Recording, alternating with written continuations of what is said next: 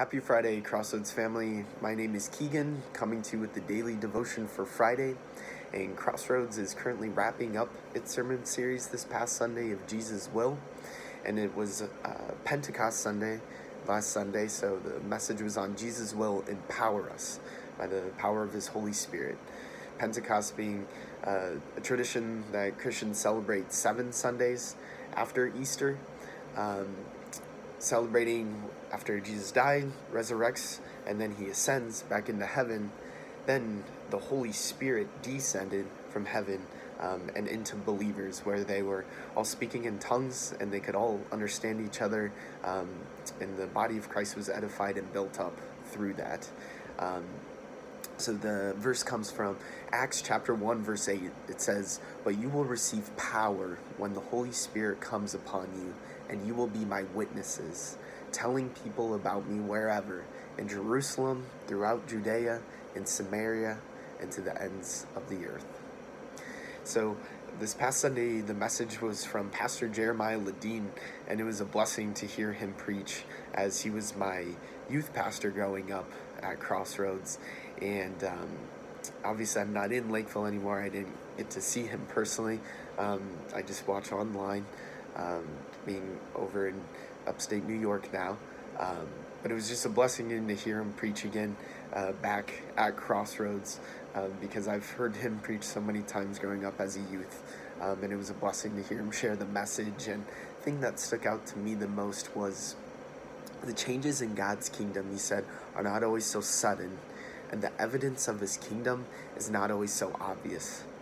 So when we think of Pentecost Sunday, it's pretty obvious of display of God's power through the Holy Spirit. um, people from all over were speaking in tongues where they could understand each other. Um, and that's a pretty big display of God's power.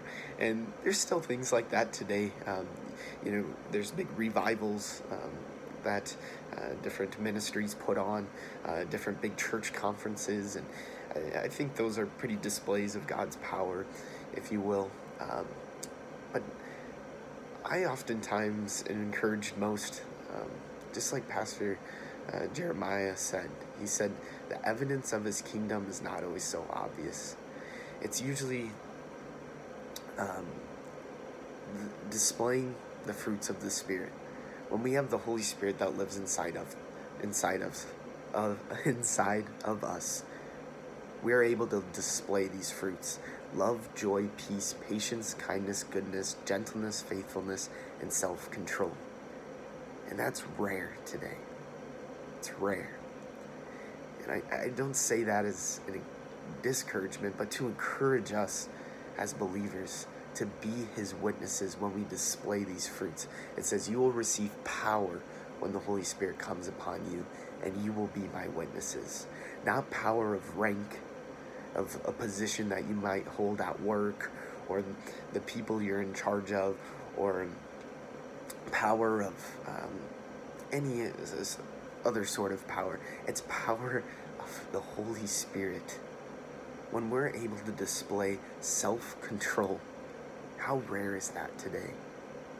How often do people act out in anger and impatience? Do we see people acting and displaying patience, displaying self control, gentleness?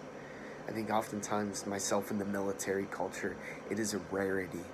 And it's an encouragement when we see people acting with the power of the Holy Spirit. And I think that is the best way that we can display and be a good witness to God. Not in these big, exceptional, ordinary ways of speaking in tongues. I personally do not have the spiritual gift of speaking in tongues, though that is biblical and specifically the Pentecostal church today does that. Um, and I think it's important to make sure you also have someone with the spiritual gift of interpretation of tongues uh, so that it builds up the body of Christ and edifies it. Um, though um, using that gift is important and that can be used, I think, just like I said, when we display those fruits, that's the best way we can be God's witnesses. Not these big displays of God's power and looking holy and church like, but just that displaying his fruits in the day to day tasks of life. Just the Holy Spirit enabling us to say yes to the things of God and the daily obedience of following Him, and the Holy Spirit giving us the courage and boldness to say no to the things of the world, of the flesh, and our sinful nature. I wanted to share a story before I wrap up the devotion. Um, one of my really good friends here in New York, uh, he's just a brother, he's another um, off, army officer as well. He's a part of my church family, and we got connected with uh, two other people from church, and um, both of them are younger teenagers, and um, they come from very rough family backgrounds. Uh, their socialization process was tough. Um, a lot of addiction in their family, and um, one of the teenagers, he um, struggled with drugs growing up, um, and a lot of anger and whatnot. And my buddy, uh, he has a garage in his gym, and we just figured, hey, come over, let's go work out. Uh, we'll put it in the battle rhythm, if you will. That's in the military, a weekly battle rhythm, or once a month, or every other week. We get together with them, work out, and then we cook them dinner, and we do small group, and we study, we'd share highs and lows, pray together, and then we'd study God's Word. And um, it was a blessing doing that, and as we continue to do that.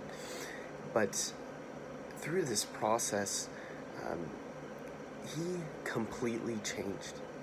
Completely. But it wasn't right away. It was over time, over these months. I have a friend, they say, How often do we disciple people to salvation? Oftentimes we think of once people are saved, then we want to disciple them to grow in their sanctification process. But how often do we disciple people to salvation?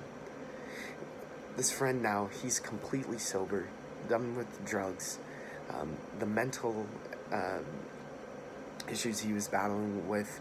He was in a um, psychiatric hospital um, for healing um, because of the things that were going on uh, with his mental health um, and just his mental health.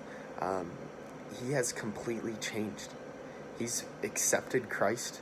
He has lost 20 pounds and he's completely changed by Christ, and it's evidence. He has a job now, two jobs. He has a chicken business that he runs, and then he's also working now at a garden place. And though he still struggles with uh, some of his past um, issues and his mental health uh, because of the brokenness that was in his life, he's been changed, and it's so evident that the Holy, evident that the Holy Spirit lives inside of him. But it didn't happen overnight. It started with him just small acts of obedience saying yes i will come and work out. Yes i i will come and do bible study with you guys and hang out with you guys. And over time his life is completely changed because of jesus and the power of the holy spirit. But it didn't happen overnight. It's hard. Healing is hard but it happened and it's amazing to see that and I'm sorry that this devotion went long, but I wanted to share that because, again, following Jesus is in, the power of the Holy Spirit. It's an ongoing process, um, but to see that evidence in his life is such a blessing, and to see how the power of the Holy Spirit gives him the power uh, to be his witness now. So, have a blessed Friday, everyone. Take care.